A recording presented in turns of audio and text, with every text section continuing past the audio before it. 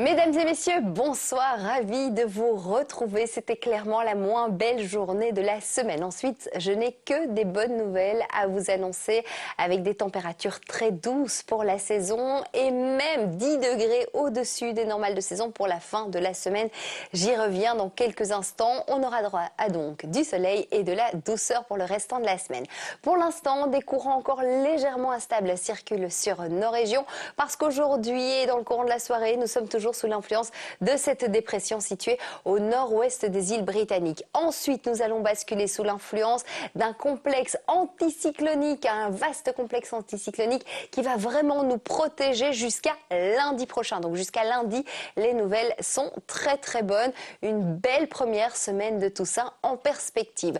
Aujourd'hui, on a eu du vent, des rafales pouvant aller jusqu'à 60-70 km heure. Demain, ça va se calmer. On retrouvera un vent modéré. Voyons aussi ce qui va se passer sur l'ensemble de l'Europe pour la journée de demain. Des températures très agréables. Du côté de Rome, on aura jusqu'à 25 degrés, mais également pour la Corse, 21 pour Nice, 19 pour Paris, 16 pour Amsterdam, 17 pour Londres et jusqu'à 22 degrés pour Madrid. Dans le courant de la soirée, nous avons toujours rendez-vous avec de fréquentes averses et puis cette tendance aux averses va diminuer au fil des heures. On va retrouver d'ailleurs un temps généralement sec de 8 à 14 degrés pour les minima, 13 sur le centre du pays du côté du littoral ou encore pour la région de Mons. Ensuite, demain matin, encore quelques précipitations du côté du littoral, mais également au sud du Sion, sans brémeuse. On parle juste de quelques petites gouttes. Et puis, partout ailleurs, c'est déjà un temps sec qui est bien présent. Le soleil va faire son apparition. Retour d'un temps sec sur l'ensemble du territoire. Une jolie lumière et de 13 à 17 degrés pour les maxima. 16 sur le centre du pays du côté du littoral, mais également en Gaume. Et si on y regarde de plus près. Vous avez peut-être la chance de passer vos vacances à La Panne. 16 degrés là-bas, ce sera pareil pour Wavre.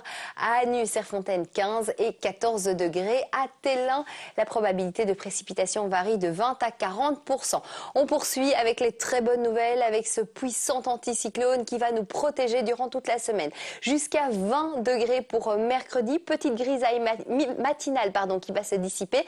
Ensuite, le soleil va s'imposer. 22 degrés jeudi, peut-être quelques petites averses en matinée. Ensuite, le soleil sera bien parmi nous dans le courant de la journée. Vendredi jusqu'à 23 degrés.